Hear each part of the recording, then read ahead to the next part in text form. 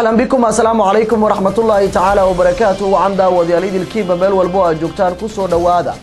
قضى بدا ورك أفريكا كيبل تي في ودور كرون ودي كغاي مانا يو. حرونتا تلفزيون كو كل يهم قلبه جواري عاصمة الدولة الجوبليه كير شمال انتو ورك سعودا وحايدين ورمي دونا. إن شاء الله اني جو شاشا قضى بدا ورك أنا ودور كرون وحاقيب كان نقون دونا. كدوات طبعا عسكري. أو كل انتهي قرح مينو. أو لا انسى إن داعش اي كو wadda ku taalay galgala.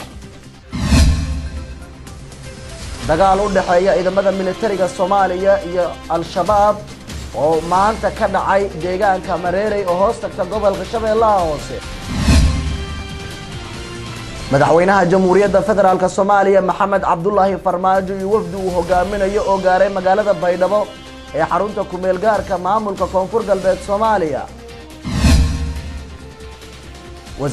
duulista hawada xukuumadda federaalk soomaaliya oo amar ku bixisay diyaaradihii qaadka ee jawhar ka degi jiray in muqdisho loo soo celiyo iyo qaadkii oo maanta magaalada muqdisho laga dejiyey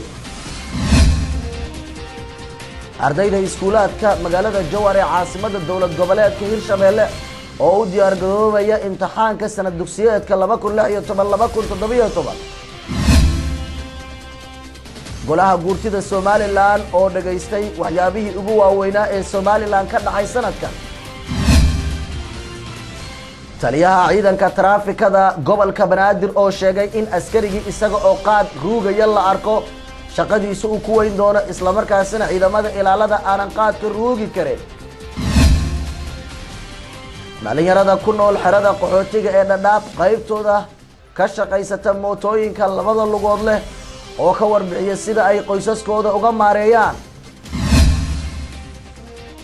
Xildhibaan cumar maxamed cumar gaabow oo ka mid ah xildhibaanada baarlamaanka dowlad goboleedka hirshabeelle oo sheegay in madaxda dowlad goboleedka hirshabeelle ay hoteelada muqdisho caafi ku cabaan dadkoodiina ay u ba'anayaan abaar gaajo iyo dagaal.